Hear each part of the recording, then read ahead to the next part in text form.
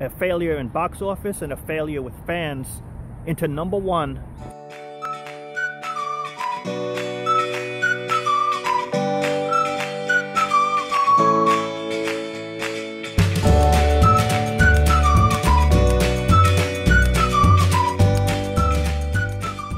Hey everyone, Rob here. Check out Comic Book Illuminati, Outright Geekery. It's in the description.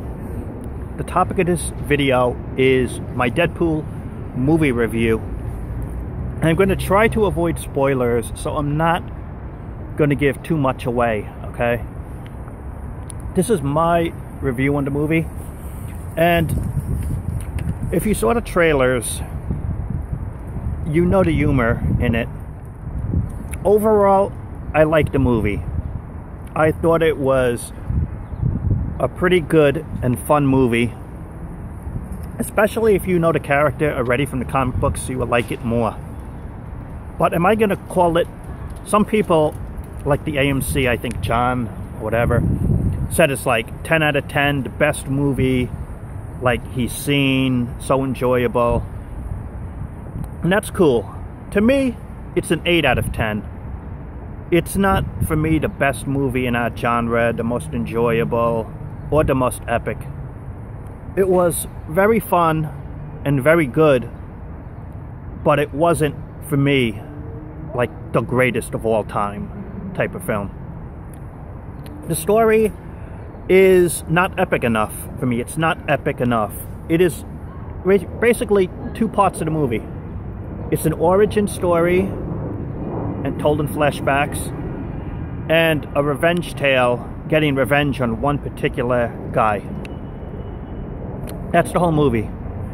And a few of the jokes, probably five or less, were kind of like, uh, kind of like grimace type of, not like it, but other than that, which will always ha- that'll always happen in a comedy. Other than that, there were hilarious jokes.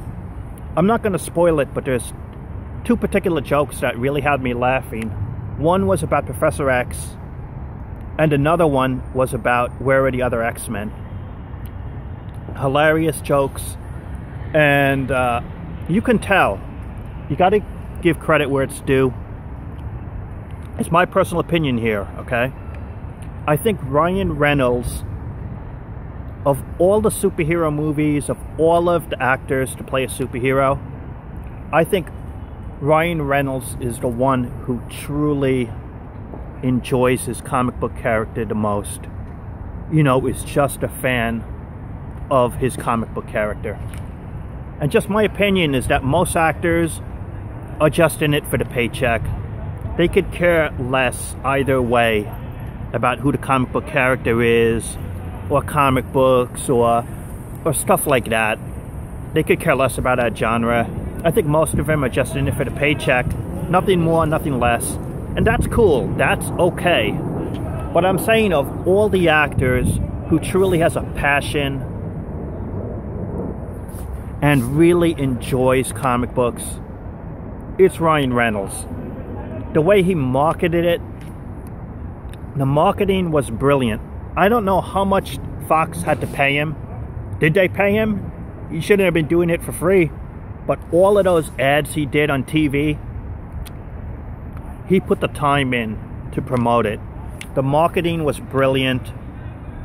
Uh, probably the best marketed by an actor superhero movie ever. And one thing, by them doing the marketing that way, they didn't have to show too much trailer spoilage and spoil the movie. Because they didn't have to show a lot of scenes from the movie to spoil it to get you to go. Because the marketing ads were unique and really helped. Especially because it's a record-setting movie for an R-rated film uh, just uh, in terms of genres R-rated movies traditionally don't make as much money as PG-13 or PG so if you if you stick an R-rated label on a movie, your box office is probably going to be less than you think.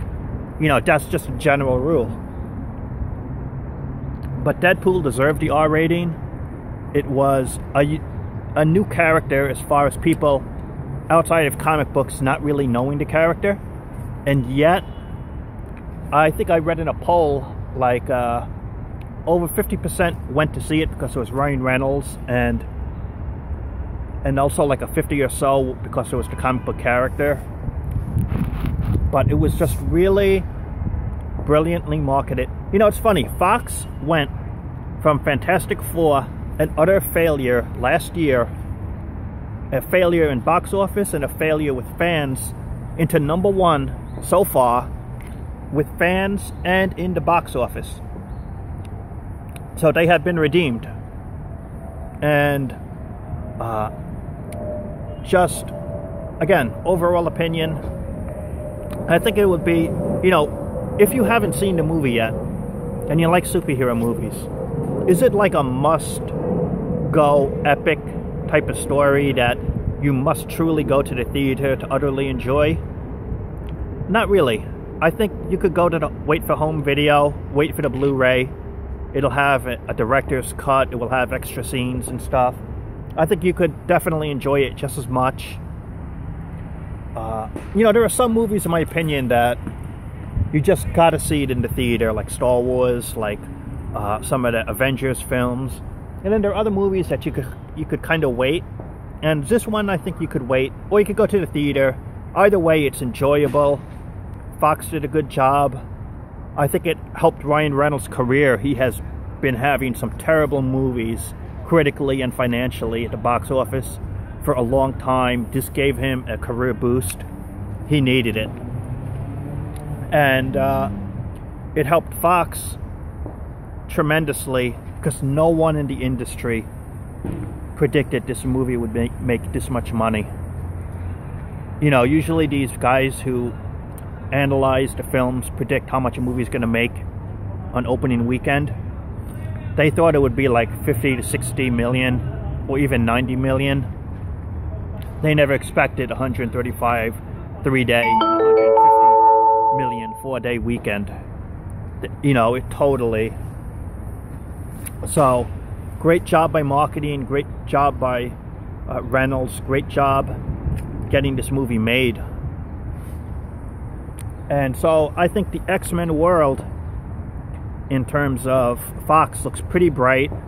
I'm pretty sure Marvel Studios is kind of pissed off that this great character is not under the Marvel Studios brand and they can't use it.